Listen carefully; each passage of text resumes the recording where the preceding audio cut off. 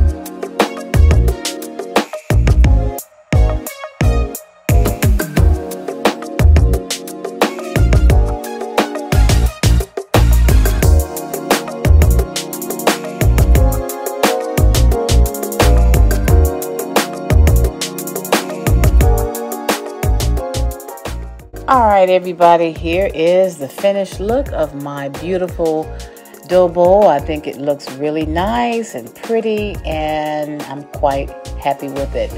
I had decorated it once before, before I actually decided to do this video, and I could not quite remember exactly where those four round balls actually went the way I had it before. I couldn't even remember exactly how I had it, so I changed it, and you would know that, but I do. I had those arranged a little bit differently, but I just could not remember. But anyway, that's okay. I think it turned out really pretty, and I hope you guys like it. If you do, please give this video a big thumbs up. Give me a comment down below, and if you are interested in joining my channel, please subscribe to the channel, and I welcome you. Thank you guys so much for watching. Take care and be blessed and happy fall, you guys. Bye.